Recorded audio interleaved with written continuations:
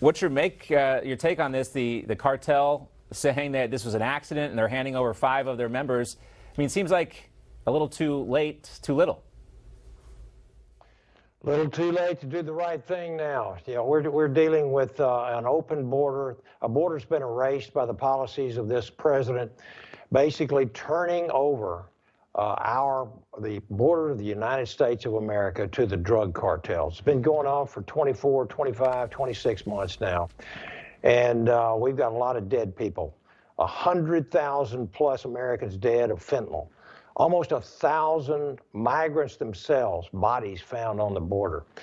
Out of control, chaos, anarchy, forced uh, the the counties and the and the and the cities in our great state of Texas forced to deal with this problem, and, and it's a creation of the Democrat Party, of the Biden administration and DHS Secretary Mayorkas, and. Uh, the Biden administration is the best friend of the of the drug cartels. It is time, and I'm saying this right now. I've been saying it actually for a couple of years. It is time that we designate these cartels as foreign terrorist organizations, that we have a, an, an authorization to use military force against them.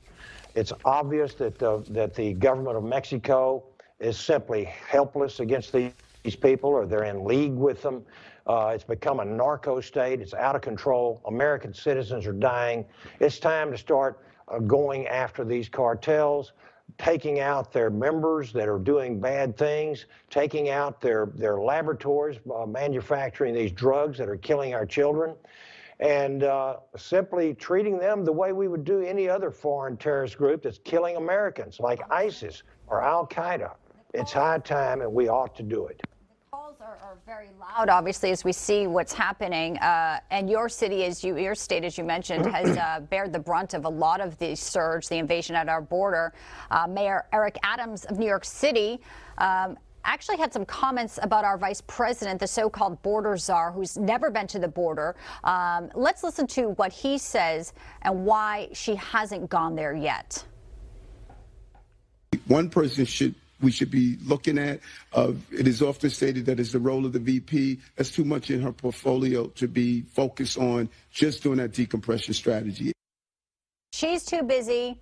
He no longer wants to be a sanctuary city. These comments, uh, as someone who is right there in Texas, uh, hearing and as you just articulated, um, seeing the deaths that are occurring, what do you make of that?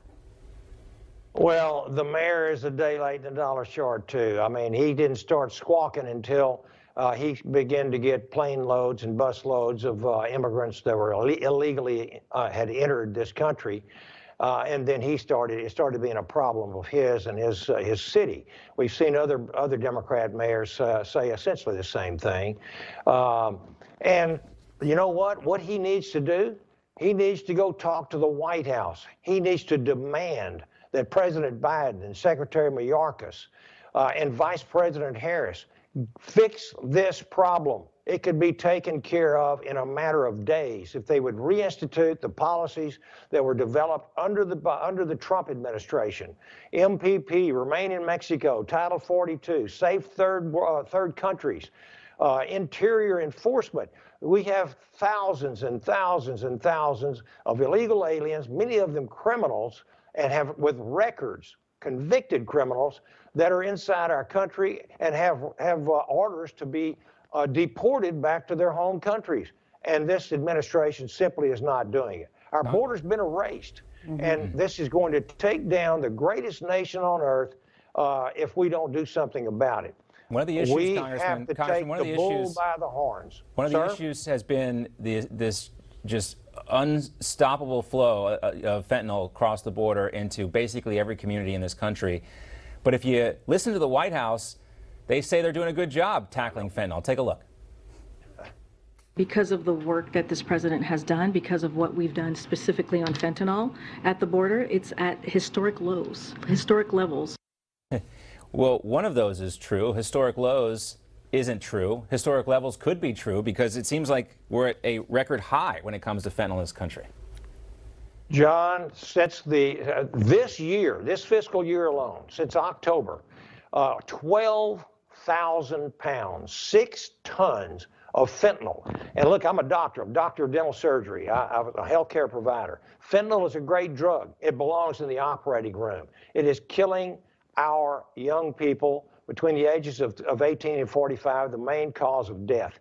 And for her to stand up there, uh, Jean Pierre, and say that, that fentanyl is at the lowest levels because of what's uh, uh, of the great policies of her boss, uh, it is it is it's just I don't know what planet she lives on.